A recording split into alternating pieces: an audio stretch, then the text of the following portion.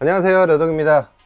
이번 영상에선 50만원대에 구매할 수 있는 그래픽카드 두 종 지금 제 앞에 있는 RTX 2060 슈퍼와 RX 5700 두 제품을 비교해보는 시간을 가져보려고 해요.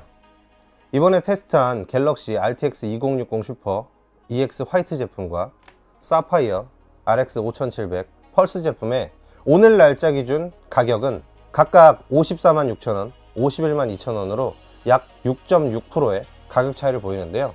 성능에서는 어느 정도의 차이가 날지 지금 바로 확인해 보시죠.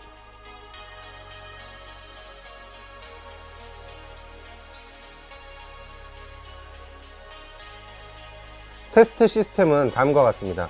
CPU로는 한창 핫한 라이젠 3600을 사용했고요. 기타 소프트웨어 버전은 아래 보이는 내용과 같습니다. 먼저 오버워치입니다.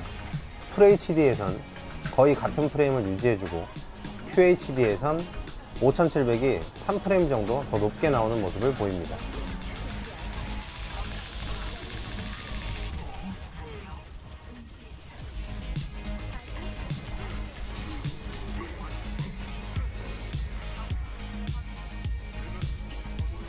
다음은 디비전입니다.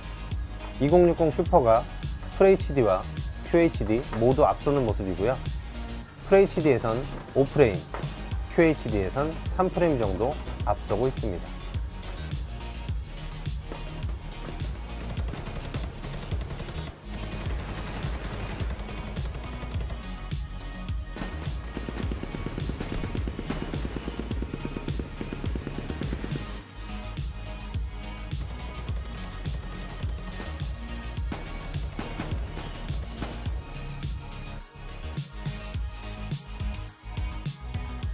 이제 국민 게임 배틀그라운드입니다.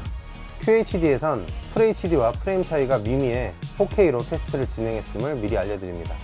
배틀그라운드가 친엔당 게임인 만큼 RTX 2060 슈퍼가 약간 더 높은 프레임을 보여주고 있는데요. FHD에선 5프레임, 4K에선 약 15프레임 가까이 앞서는 모습을 보입니다.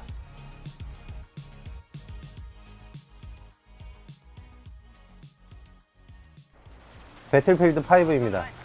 정확한 비교를 위해 레이트레이싱은 비활성화했어요.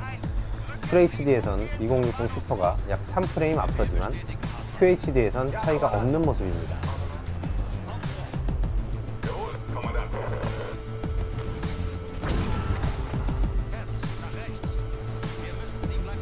다음은 레인보우 6 시즈입니다. FHD에선 5700이 약간 우위인 모습이지만 QHD는 동급이라고 봐도 무방한 프레임을 보여주고 있습니다. 마지막으로 위쳐3입니다. FHD에선 5700이 8프레임 정도 더 잘 나왔고 QHD에선 1프레임 차이로 2060 슈퍼가 앞서는 모습입니다.